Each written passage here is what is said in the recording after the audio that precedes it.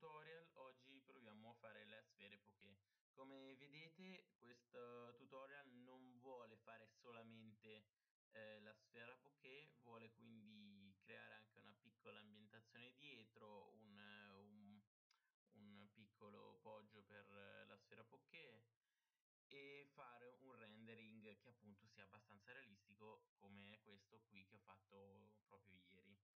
Eh, vi dico subito, innanzitutto apriamo Maya, vi dico subito che vorrei farlo con il V-Ray e quindi non con il render eh, che c'è in Maya già installato tipo, tipo eh, Mentarray, ma V-Ray è un pochettino più poco più complicato da usare, però i render sono molto molto meglio. Allora, spero che abbiate già visto il video scorso, così partiamo già che sappiamo le basi eh, niente creiamo una sfera velocemente gli facciamo lo smooth due volte andiamo con lo spazio sulla vista frontale o laterale prendiamo solamente i, le facce in mezzo e con l'extrude ritorniamo in dentro. Ora perfetto. Ora selezioniamo bene.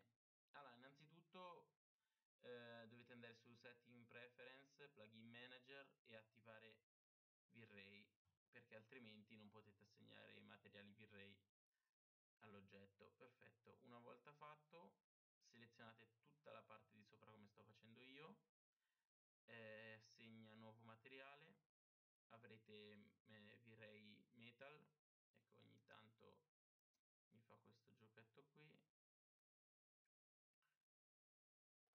niente riassegniamolo assegniamo materiale virrey metal e lo chiamiamo rosso. È importante dargli il nome altrimenti poi ci scordiamo qual è il metallo giusto. Eh, allora colore di diffusione rosso bello acceso. E questo qua appunto sarà il colore finale che vedrete. Poi le uniche cose che ci interessa sono la riflessione. E il colore sarà bianco perché un materiale metallico di solito riflette bianco oppure il colore bianco vi assicuro che viene meglio e usiamo il Fresnel con la suddivisione a 16 perfetto facciamo la stessa cosa per gli altri, per gli altri colori. Quindi assegno nuovo materiale, vire metal, questa volta bianco, riflessione abbastanza alta, Fresnel 16 e lo chiamiamo bianco. Ora qui in mezzo segniamo un materiale, vire metal nero, non troppa riflessione e 16. Come vedete la sfera poiché è iniziato a crearsi ora create bel, un bel cilindro come sapete già se avete messo impostazioni come l'ho messe io nello scorso video ve lo troverete in mezzo quindi sapete già che è selezionato e sposterete subito il cilindro. Poi cliccate due volte su rotate tool e cliccate su se non è già attivato il discrete rotate con step size a 15 questo vi permette di muovere discretamente, diciamo con discrezione appunto, ehm, la, qualsiasi, qualsiasi, qualsiasi oggetto voi state eh, facendo fare la rotazione in modo da essere convinti che quando la fate in questo momento è perfettamente allineato vedete? È perfettamente allineato con, eh, con l'orizzonte. Perfetto ora fate il fate come sto facendo io fate sì che appunto rientri giusto giusto dentro la sfera poké vedete quando queste, questa linea verde appena appena sparisce perfetto è dentro. Ora un trucchetto è di innanzitutto di aumentare ecco ma è proprio stupido a volte niente creo un altro cilindro e stavolta lo faccio prima aumentare le suddivisioni così. Sì aumentarle abbastanza a caso basta che aumenti. Ehm,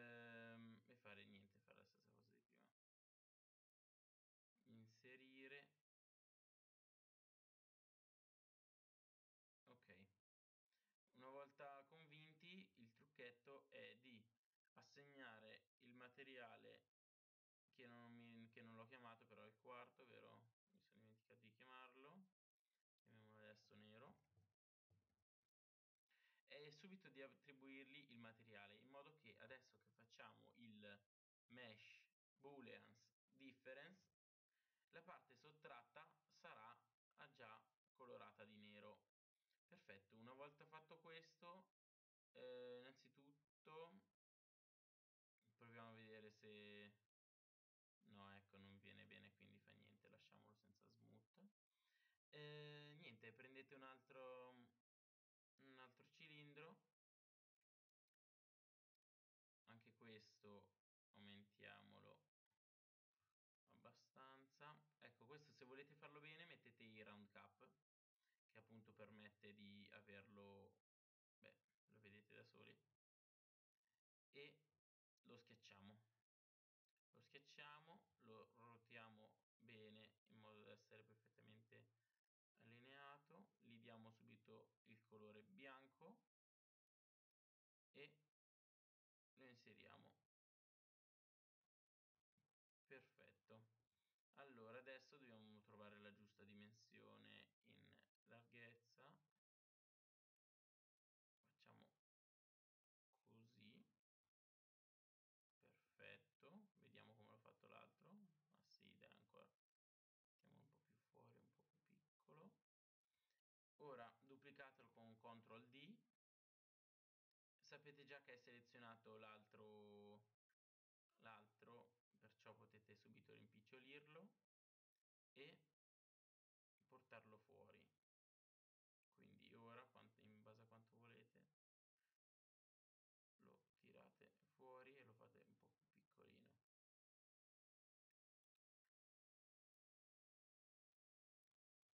Perfetto. Allora la sfera poké è essenzialmente è fatta. Ora se volete modificarla un pochettino se volete migliorarla. Allora eh, andiamo alla parte del render. Se questo è per, per, fare il render del, appunto, di ciò che vedete al momento. Come vedrete ciò che il risultato sarà appunto di una sfera bruttissima stilizzatissima. Ma cosa fate? Andate qui e mettete V-Ray e poi ridate il render. Già molto meglio come potete vedere. E ora la parte diciamo più interessante.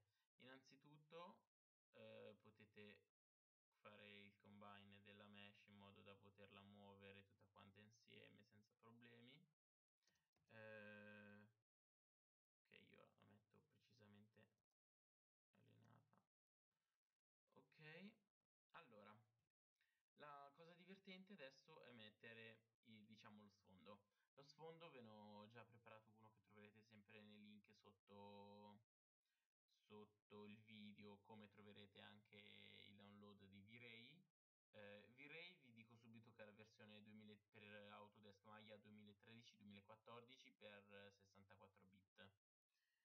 Eh, se volete eh, si potrebbe fare anche una piccola velocemente ecco guarda la faccio velocemente allora. Eh, allora. F. Assegna nuovo materiale ecco. Se volete far sì che non, cioè non avete V-Ray non potete scaricarlo questo e quest'altro vi faccio vedere con con eh, Maya 2 MR quindi Mental cosa dovreste fare allora il più utilizzato è dei materiali di Mental Ray e mia Material Xpasses voi cliccherete e dovete fare esattamente la stessa cosa. Quindi mettere il colore rosso acceso la riflessione alta e mettere metal materia e niente e basta io lo rimetto rosso ok perfetto quindi una volta volta fatto questo il nostro piccolo la nostra piccola scena. Andate su render setting e cliccate esattamente ciò che clicco io. Quindi andate su illuminazione in diretta mettete la G on on se proprio volete farlo benissimo.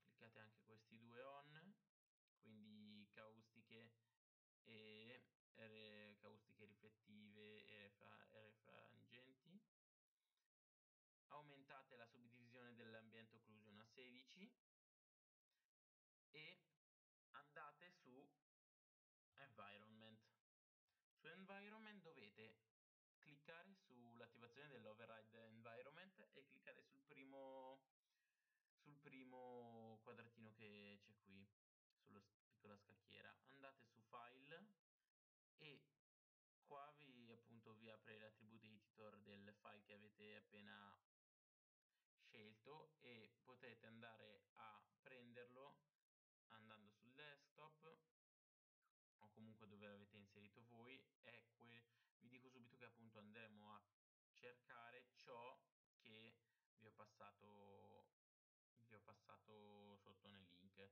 cos'è questa? questa è un'immagine HDR un'immagine HDR è un'immagine diciamo a 360 gradi che appunto permette di far sì che vengano molto meglio le, appunto ci sia uno sfondo e le cose riflettenti vengano esattamente come c'è nello sfondo quindi andate su window rendering hypershade trovate sia tutti i materiali che abbiamo fatto bene e se andate sulle texture trovate il, il, diciamo, il file che avete appena caricato.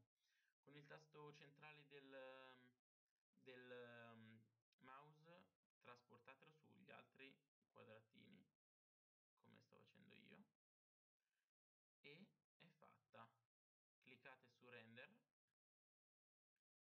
e come vedete la palla si è appunto sistemata dentro questa bellissima eh, questa bellissima questo file questa immagine a 360 gradi. Se voi muovete così nel render vedete che anche lo sfondo in base a cosa visualizzate cambia.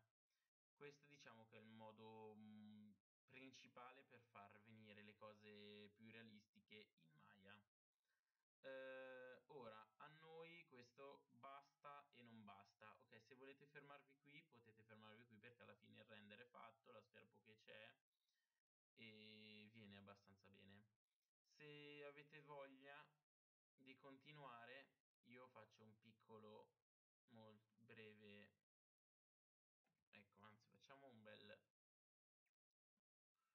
fate come faccio io prendete un cubo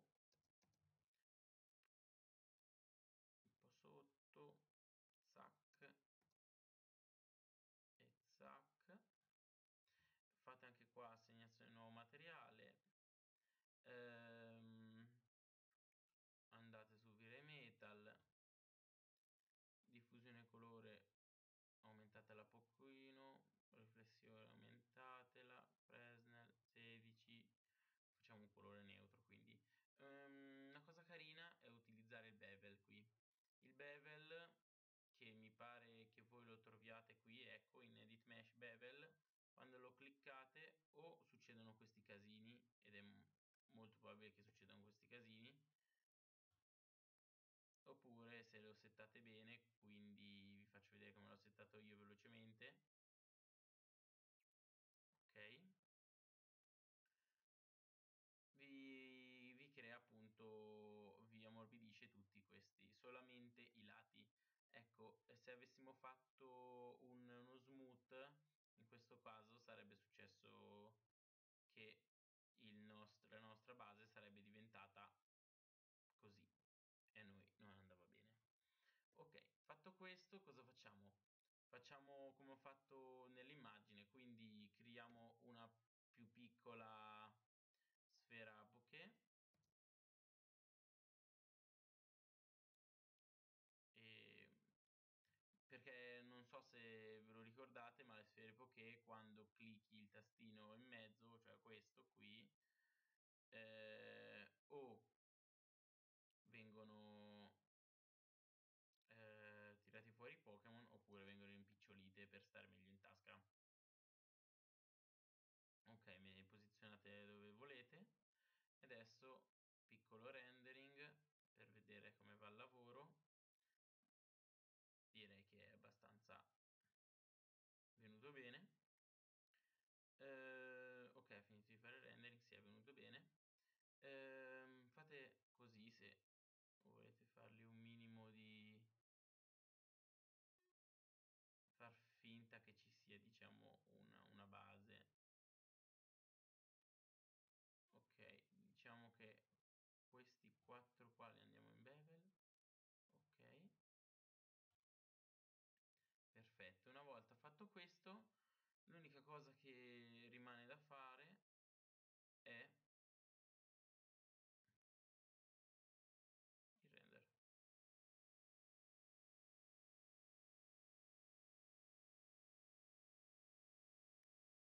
ecco come vedete niente questo diciamo che fa finta che ci sia un, un una base su cui è appoggiato davvero sul terreno e rende un pochettino più realistico il tutto.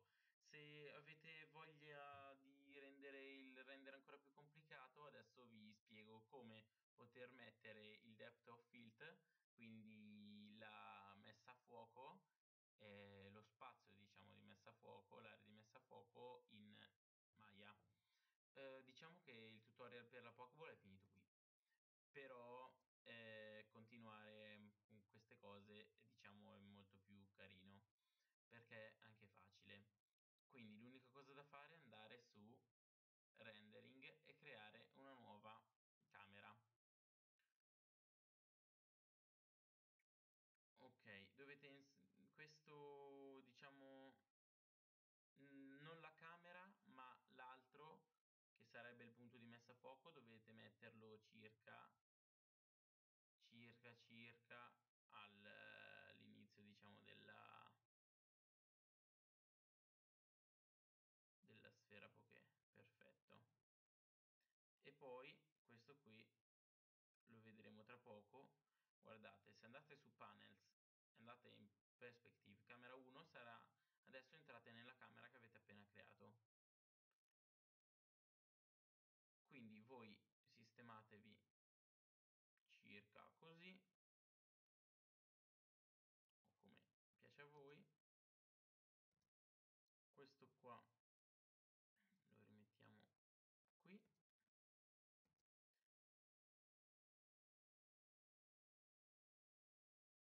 ok ora andate su impostazioni camera depth of field mettete get focus distance on camera.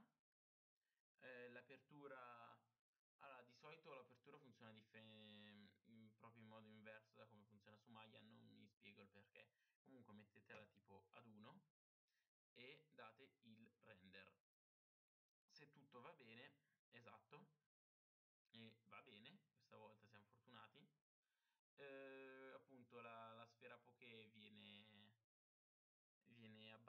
abbastanza a fuoco viene perfettamente messa a fuoco e ciò che è dietro viene sfocato. Ehm, ora sì, sarebbe magari potuto bastare anche uno sfondo sfocato, però questo fa, questa è proprio un calcolo matematico che fa ed è quindi molto più facile e sicuro.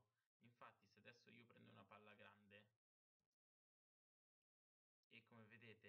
sposto indietro ma sì tipo lì e faccio il render